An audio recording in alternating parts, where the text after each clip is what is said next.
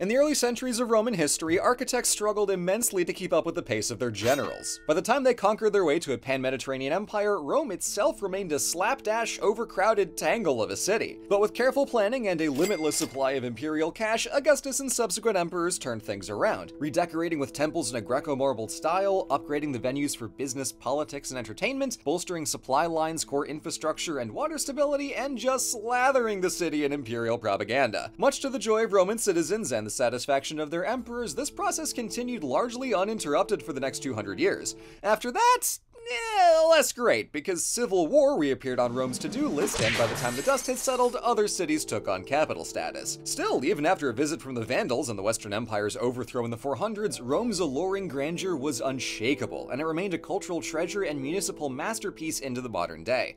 But that's the city of Rome for you. Late to the party, late to die.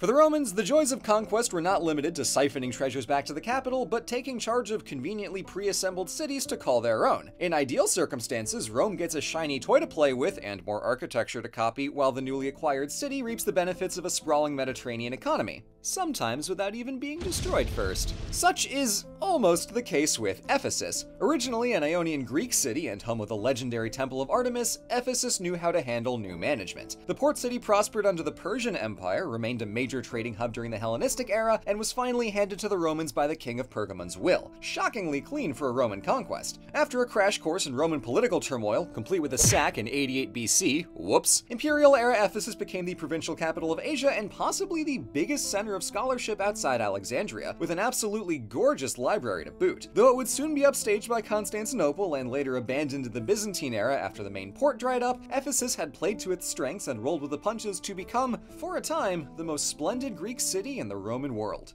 Of course, not all Roman cities were strictly Roman or even Roman adjacent like the Greeks. Many corners of the growing empire were home to former enemies with their own language and culture. The blunt version of the onboarding process was to blow it up and start from scratch, Sorry, Carthage. But a delicate touch and some creative thinking could just as effectively turn a city Roman, as in the success of Leptis Magna. Originally a Phoenician colony from the 7th century BC, their first experience with empire came courtesy of Carthage. But following the Second Punic War, Leptis and their neighbors split off as an independent kingdom, then broke away from that to ally with Rome a century later. And their independent streak continued with their designation as a free city, retaining their Punic language, local coinage, and traditional constitution. Even as Roman culture crept in, that Phoenician flavor remained a core feature of the city. Their big break came when hometown boy Septimius Severus became emperor and proceeded to go nuts on urban expansion, building a triumphal arch, massive civil basilica, and new harbor, taking it from just another city to among the grandest in North Africa, alongside Alexandria and Carthage. Yet, in 439, the Vandals took over,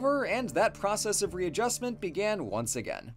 Leave it to those Romans to outgrow even the entire Mediterranean Sea and go out scrounging for more. After Caesar's losing encounter with Britannia, Rome refused to leave well enough alone and returned a century later to colonize the island, or at least try to. This remote corner of Europe was rich in metals and full of enslavable locals, but the native Celtic people weren't super jazzed about that second one, so Britannia was as hard to keep from rebelling as it was to conquer. On top of that challenge was a lack of established cities to yoink, so the Romans started from scratch with colonies like Londinium. Founded in the late 40s AD at a point on the River Thames that was narrow enough to bridge but deep enough to sail, it became the largest in Britannia by the end of the century. Not huge by Mediterranean standards, but remarkable for just how fast it took the shape of a full Roman city, with a gridded street plan, amphitheater, forum, basilica, running water, all the hits. Similarly impressive was the diversity of goods and people in far out Londinium, as well as the development of a Romano-Celtic hybrid culture. Despite its success, Britannia was always in some form of peril, and when the invasions came a-coming in the 400s, the legions withdrew across the channel and left the cities to fend for themselves. Some Romano Britons kept the dream alive despite their newfound isolation, but by the end of the century, Londinium was abandoned.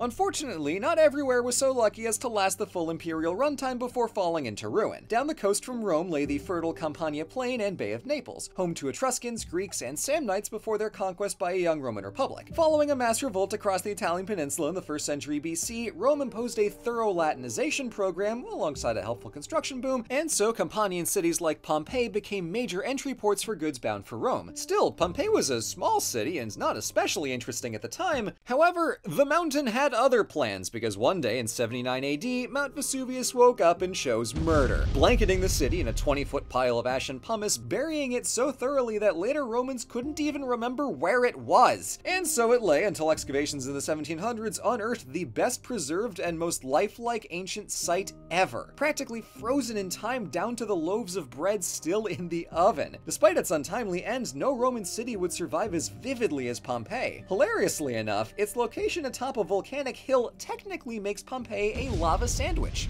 Discuss.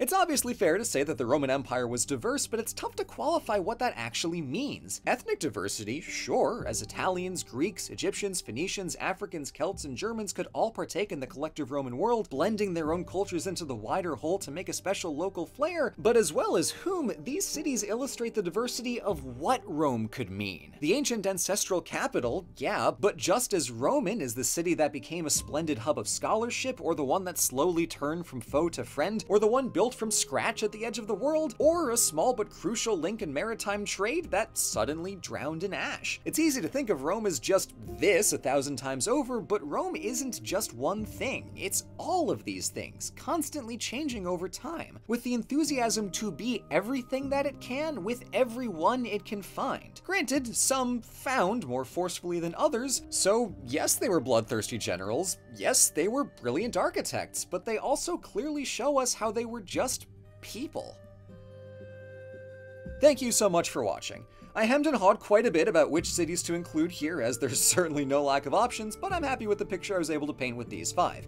Huge thanks as always to our wonderful community of patrons, and I will see you all in the next video.